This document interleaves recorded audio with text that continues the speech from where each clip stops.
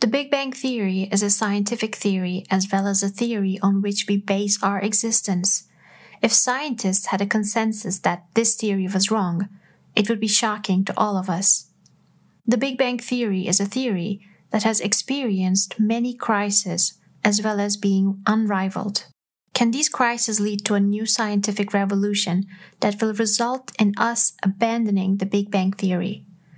We will look for the answer to this question in the philosophy of science, in Kuhn's paradigm shift.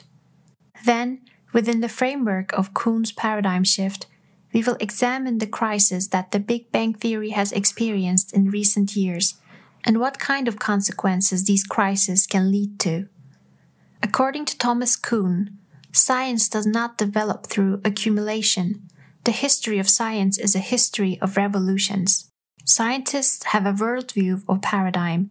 For a time, the paradigm provides a model for the community of practitioners in problems and solutions. This model is a universally agreed upon success.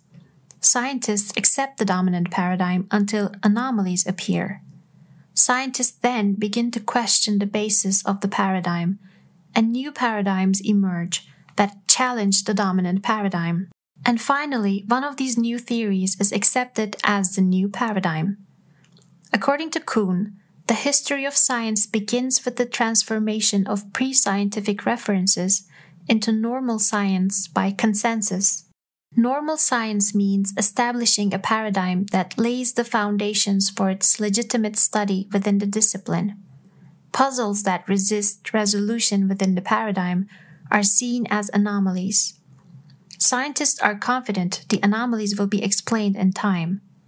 Therefore, anomalies are tolerated and do not lead to a rejection of the theory. Scientists spend most of their time dealing with emerging anomalies. Normal science is not expected to be critical, otherwise, it would be impossible for scientists to carry out detailed research. If anomalies seriously undermine the basic assumptions of the paradigm, and attempt to eliminate these anomalies consistently fail, a crisis ensues. Paradigm change takes place with this crisis. First, ideas that challenge the current paradigm develop. If the anomalies can be resolved, the crisis ends and normal science continues. If the anomalies cannot be resolved, a scientific revolution involving a paradigm shift takes place.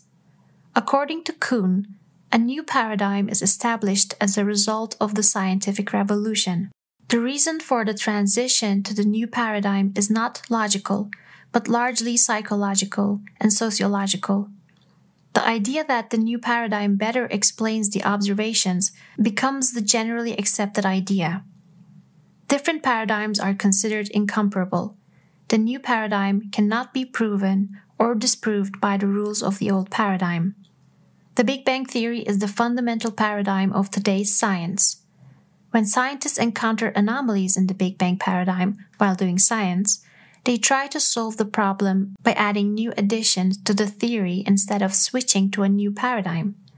But with each passing year, the anomalies encountered in the Big Bang Theory are increasing, and many theories are constantly emerging that rival the Big Bang Theory but none of these theories seems to be candidates for replacing the Big Bang Theory for now. Therefore, we can clearly say that there is a crisis. To understand the crisis of the Big Bang, let's briefly examine what anomalies the Big Bang Theory encountered. The first of the anomalies in the Big Bang Theory is related to light elements. The Big Bang Theory predicts that a certain amount of light elements, such as lithium, helium, and deuterium must have been produced in the explosion that is supposed to have started the universe.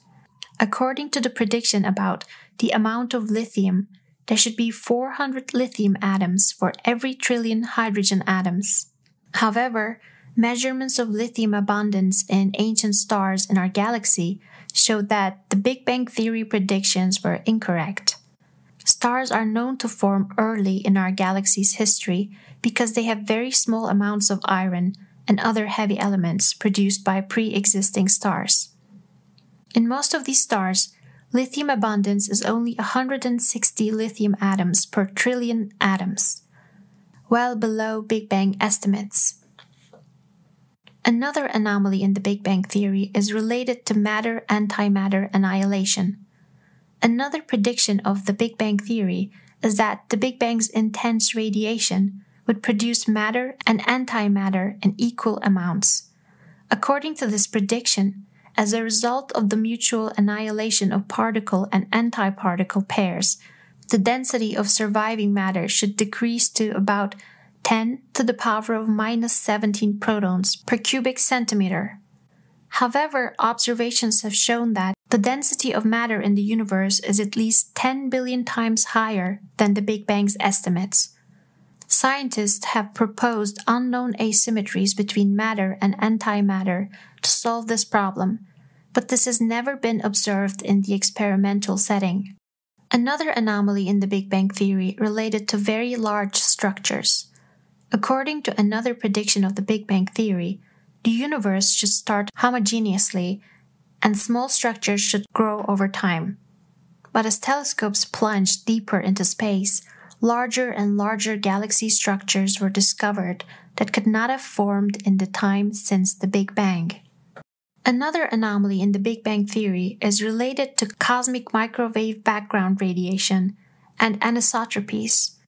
According to the prediction of the Big Bang theory, the cosmic microwave background radiation is a smooth remnant of the initial radiation of the Big Bang. But observations show that cosmic microwave background radiation is so smooth at large scales that there's very little time at the Big Bang for different regions of the sky to reach equilibrium. To solve this problem, scientists predicted that an unknown force called inflation created an exponential phase in the Big Bang. This force blew up the universe so fast that it smoothed out all the asymmetries. But observations showed that the small anisotropies in the cosmic microwave background radiation were much smaller than predicted. This required further revisions to the Big Bang theory. As a result, free variables such as dark matter density, ordinary matter density, dark energy density, and additional fitting parameters were needed to make the predictions fit the observations. Another anomaly in the Big Bang theory is related to the problems encountered in the measurements of the Hubble constant. Beginning in 2014, the measurements of the Hubble constant, which is accepted as the expansion rate of the universe, started to disagree with each other. Measurements from distant universe were about 10% lower than measurements from the near universe, and the uncertainties in these measurements were around 2%. A 10% difference with 2% uncertainty statistically indicated a crisis. More than 300 solutions have been proposed to solve this crisis. Neither of these proposals has been accepted by cosmologists by consensus. The crisis is getting worse day by day. Another of the most important crises of the Big Bang Theory is that it predicts the existence of dark matter, and this prediction cannot be proven with observations. Despite extensive experiments to find them, these mysterious particles have never been observed in the laboratory. However, there is ample evidence that dark matter does not exist. In particular, observations of the movements of galaxies show that dark matter does not exist. As a result, we can say that the Big Bang Theory is experiencing the processes predicted by Kuhn. The Big Bang Theory is the fundamental paradigm of today's science new anomalies are constantly emerging in the theory. Instead of changing the paradigm, scientists are trying to come up with new explanations to solve the crisis, as Kuhn predicted. Explanations developed to solve crises lead to bigger crises. To summarize, there are two possible scenarios for the future. In the first scenario, scientists will solve the problems of the Big Bang Theory and this theory will continue to be the main paradigm of science. In the second scenario, the crisis will deepen and result in a scientific revolution. If there will be a scientific revolution, it cannot be predicted today what kind of cosmological theory we will have instead of the Big Bang Theory. However, if such a revolution takes place, The Big Bang Theory may disappear into the dusty shelves of history after a few generations, just like other obsolete theories. Do you think scientists will be able to solve the crisis of the Big Bang Theory, or will a new scientific revolution take place? Write your opinions in the comments and let's discuss.